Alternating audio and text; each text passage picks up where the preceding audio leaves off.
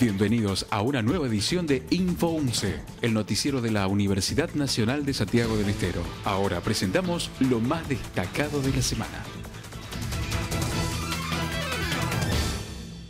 se aprobó la apertura de un nuevo postítulo en la Escuela para la Innovación Educativa. La especialización en enseñanza de las ciencias está destinada a egresados de carreras universitarias del campo de las matemáticas, física, química y biología. El desarrollo del postítulo constará de cuatro módulos con modalidad de cursado semipresencial. La particularidad que tiene este, esta formación es la posibilidad de realizar en instancias de aprendizaje eh, una nueva modalidad, desde una nueva concepción de la enseñanza de las ciencias en forma integral. Creemos que es una forma que tenemos desde la universidad de contribuir al mejoramiento de la enseñanza en el ámbito de las ciencias físico, químicas y matemáticas. La idea es trabajar con los docentes en un espacio de desarrollo, de interacción,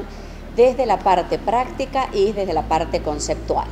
La primera parte y el primer módulo de este postítulo vamos a indagar, vamos a eh, reevaluar todos los contenidos ya aprendidos por nuestros docentes y luego vamos a pasar a una instancia de, eh, integración en un módulo propiamente llamado de integración de las ciencias. Eh, vamos a dar inicio el 13 de septiembre a las 9 horas en la Escuela de Innovación Educativa y nos vamos a reunir solo los días sábado, sábados desde las 8 y 30 de la mañana hasta las 16 cada 15 días se realizó un acto de apertura de la Maestría en Ciencias Sociales. La nueva oferta educativa de la Facultad de Humanidades, Ciencias Sociales y de la Salud está dirigida a egresados de diversas carreras para abordar la realidad social de manera interdisciplinaria. Eh, se abre esta maestría en Ciencias Sociales que es una maestría requerida por la comunidad por cuanto tiene una perspectiva interdisciplinaria, entonces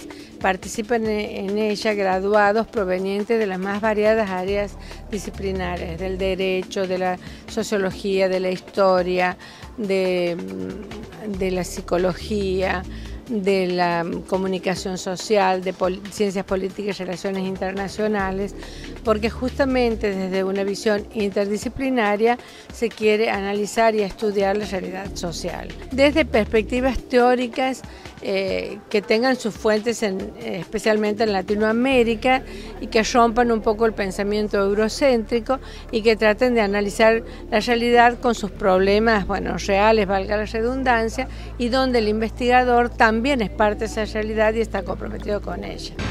Desde la Secretaría Académica comienza a implementarse el programa Pasá tu año sabático en la UNCE, dirigido a todos los jóvenes que actualmente están transitando el proceso de elección de un proyecto de vida. Pueden ser chicos que no estén cursando una carrera universitaria ni teniendo una ocupación laboral y quieran empezar sus estudios superiores. Sí, este proyecto este, está destinado a estudiantes que han culminado el secundario y que por alguna cuestión no han hecho una elección vocacional, profesional o una elección de carrera, digamos.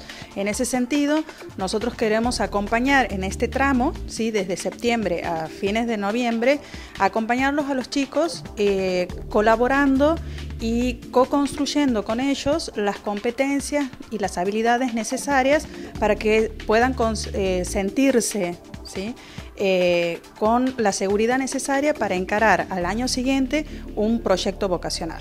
O sea, aquí vienen a prepararse en las materias que supuestamente son las más complicadas a la hora de ingresar en la universidad, como por ejemplo matemática, física, biología y química. Es una situación de preparación nada más.